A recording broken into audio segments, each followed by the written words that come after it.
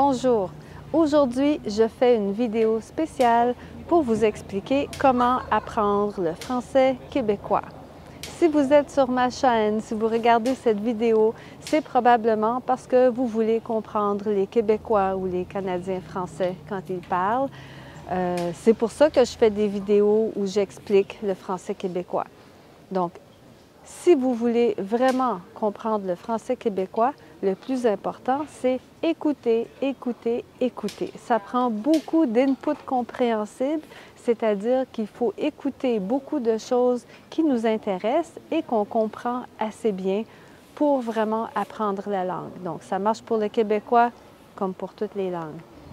Euh, et si mes vidéos sont encore un peu difficiles, euh, vous pouvez regarder les sous-titres français ou les sous-titres anglais ou les deux en même temps. J'ai déjà expliqué comment faire ça. Donc, la chose la plus importante pour comprendre le québécois, c'est écouter des choses en québécois.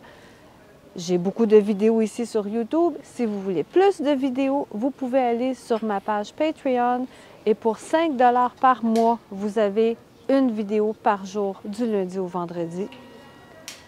Et si vous vous abonnez pour une année, c'est encore moins cher. Vous avez une réduction, un rabais de peut-être à peu près 15% Je ne me souviens pas exactement. Donc, allez sur mon Patreon pour avoir une vidéo par jour. Et sinon, je vais vous mettre une liste de liens. Il y a quelques liens où c'est des choses qu'on peut écouter. La plupart, c'est seulement des listes de vocabulaire ou d'expressions, mais ça peut être intéressant en attendant que vous les entendiez dans une de mes vidéos. Salut!